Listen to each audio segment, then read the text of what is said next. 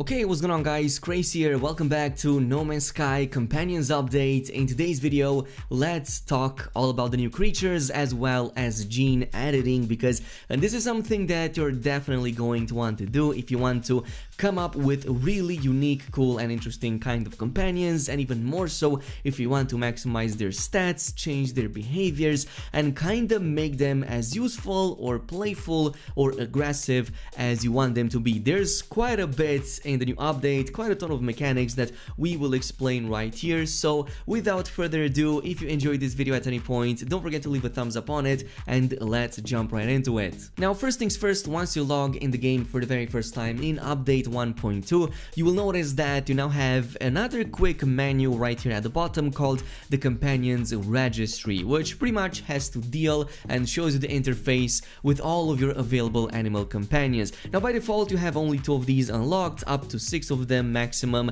but do keep in mind that these exponentially increase in nanite cost. So while the first one only costs about 500 nanites to unlock, the other ones quickly double up in value every single time, so by the fifth one it's going to cost about 5000 nanites to unlock and then the sixth one is going to be 10,000. Just be careful with that, it's going to be quite expensive to unlock all of these, but it is definitely going to be worth it. From this point on, it's where it all becomes a bit more streamlined because now you don't have to worry about complicated creature recipes. The only thing you now have to create is one creature pellet which costs about 50 carbon to create. And with this you can tame pretty much any creature, be it an aggressive one, a carnivore, a docile one like a herbivore, it doesn't really matter, you can just walk up to it and press the adoption option which is going to immediately make that creature your companion from the very beginning. Point at which the interesting stuff kind of starts to happen.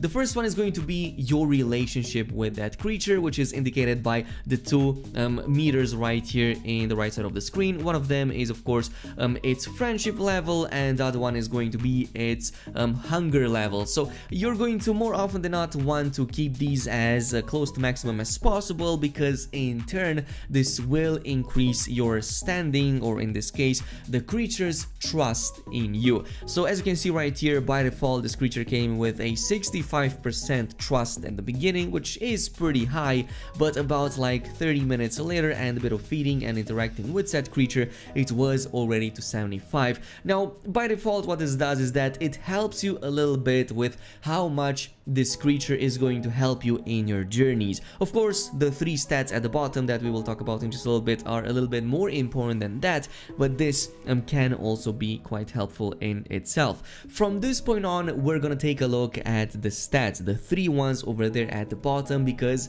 these are extremely important and these will completely dictate how your creature will behave, especially when you're going outside on planets with them. This is why in this case I recommend that if you find a cool looking creature, don't just settle for the very first model you find, but instead try to tame at least a handful of these, see what their stats look like and then decide on the best possible model. So just to give you an example, here are two specimens of the same species. The first one right here has an 81% stat into helpfulness, which means that more often than not it is going to try to help me in one way or another. Maybe resource collecting, maybe attacking another creature, maybe unlocking a secret. It is going to be more helpful than not, which is quite a different, quite a stark difference compared to the second model right here, which only has about 29% and even that is in playfulness. So that means it's not going to do too much in helping me. Of course, assuming that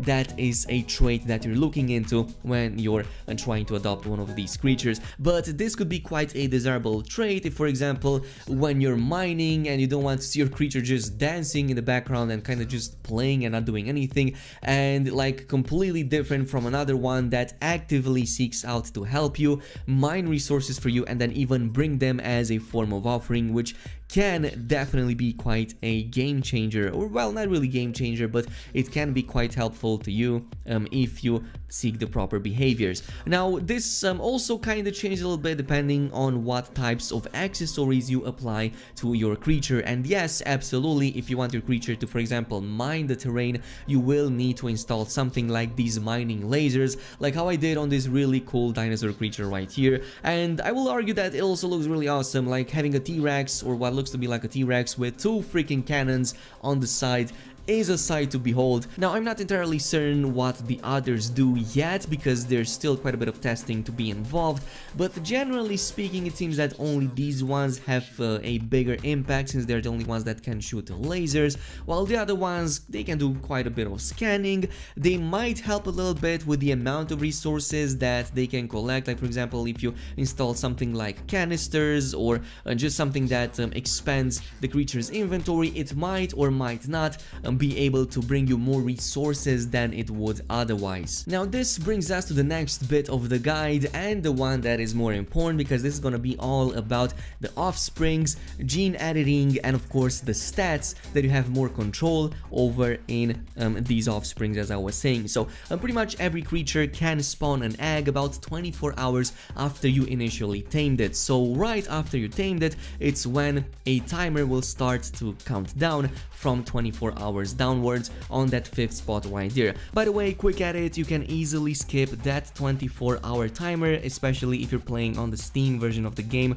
So simply go offline, change the time of date to one day ahead, then go and play Steam offline and once you log in the game, yeah, you're gonna be able to skip that timer entirely. I will post a quick edit in the description box for you how to do this, especially on the Steam version. Now there are a few conditions that must be met before you can um, cause that creature to lay an egg. The first one is of course to just be fully fed, so just feed it a couple of pellets and it should have that meter to 100%. The second one, as you will see in just a little bit, is the fact that that creature has to be in its native climate for it to be even able to lay an egg. Like for example, this one right here was acquired from a radioactive planet, which means that if I were to make it lay an egg on this one, a lush planet, it's not going to be able to do so. So in order to verify that, simply head over to your uh, registry of companions and just check that native climate right there, the third spot, and it is going to show you what you need to search in terms of biomes in order to make this creature lay its egg. So that is exactly what I did in this case. I went to a radioactive planet again. It doesn't have to be the same planet,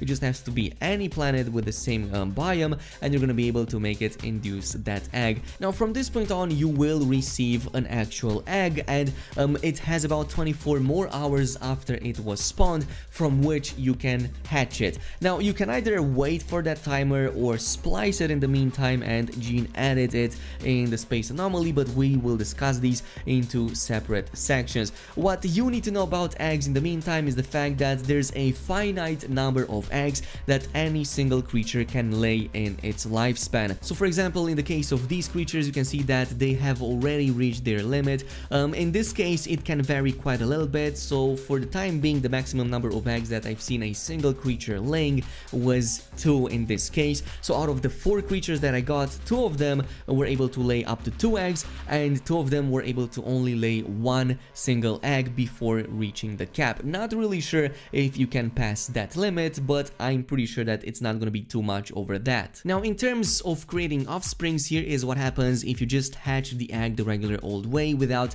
doing any gene editing and well the first observation is the fact that the offspring is not going to look that much different than its parent. It can definitely change colors but usually it's not. You're going to want to do gene editing if you want to be 100% sure that that will happen.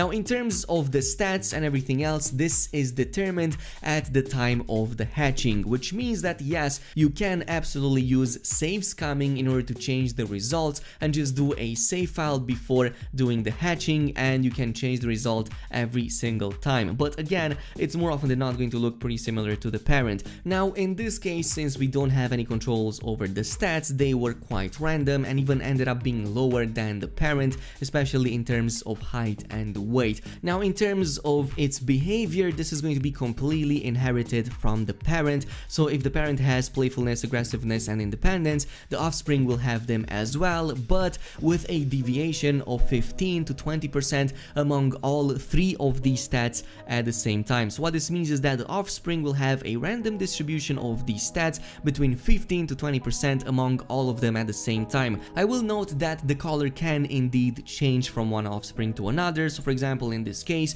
I got an albino version of the same bird when previously its parent was colored. So yes, that can absolutely happen. And again, if you use save scumming, you can have a bit more control over this, but again, not as close to the gene editing. Which brings us to the final egg sequencer, the new machine that was added on the space anomaly between the place where you added your character and of course the chef right here on the other side. But the thing about this is that this absolutely works on eggs even as they are about to hatch. As a matter of fact, it's probably desirable to do it this way as you can immediately see the results in front of you. Now, in terms of what you can edit, you have four categories that you can edit with the sequencer. The first one is going to be its size, so height and weight. The second one is going to be anatomy and features. You can either gain or lose features with this one. The third one is going to be about its colors and finally the personality traits. Now going over the growth from my discoveries, sodium and phosphorus seem to be some of the best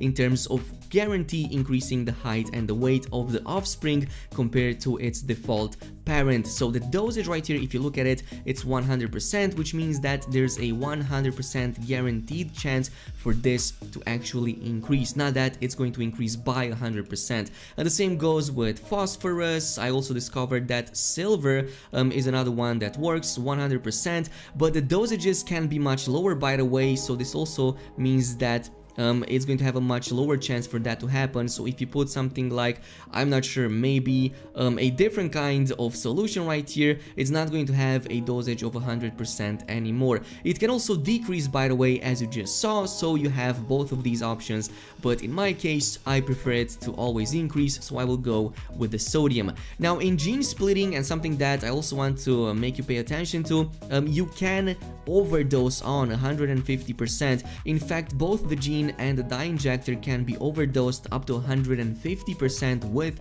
the proper materials. It's just that I have yet to find one um, that actually works for the neural injector and the growth hormone. So if you do have any of these, please let me know down below. Uh, we also haven't found a single one that has a predictable result. As you can see, in both of these situations, the results are unstable. So what this means is that they are completely random. So we shall check if gold has has any effect on that. And the final one that I've discovered is the neural calibrator. For example, Cobalt almost always has a 100% chance to go into helpfulness. So this means the creature is going to be more helpful when going and exploring or when fighting. Um, there's others in there too, like for example, if you put in a walker brain, yeah, this one is going to instead add to its independence. So at the very least, there is a reason why you're going to use each and every single one of these it's just that for the dyes and the genes we cannot find anything so far. So in this case the dosage is 100% which means that 100% of that stat distribution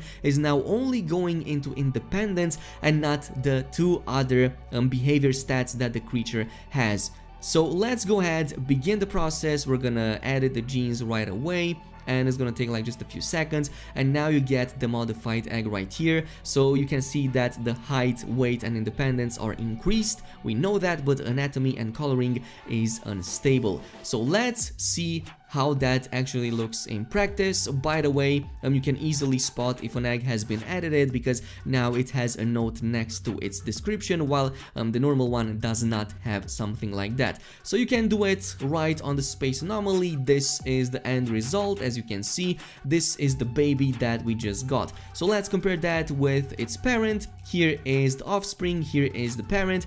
As we do know that its anatomy was uh, pretty much um, not a 100% guarantee guarantee thingy, it kind of went random, so now its horn on the head was lost and instead it has one on the back, also lost its crystals on its side and uh, its head also looks a little bit different, now it has a different coloring right here compared to the rest of its body. Again, we did add growth hormone to it, so now its height and weight are quite significantly higher than its parent from 1.8 meters in height and 70 kilos to 90 kilos and 2.3 meters So we can do this every single generation until it increases to crazy sizes. Um, by the way, we were talking about the stats. So as you can see, only independence changed from 40% to 60%, but the other two were left intact, 78, 19, because as I've said, the entire stat distribution was only into this, up to 20% as I said in the beginning of the video. So you can build upon this from one generation to another and then create the perfect specimen like three or four generations later down the line and come up with something absolutely incredible but you have to wait for it to grow into a full-on adult. This is it though with uh, the new update and some of the biggest tips I had in terms of getting the proper creature. Let me know down below of your findings and if you found anything interesting that I have missed or skipped upon and I'm gonna see you guys in the next one.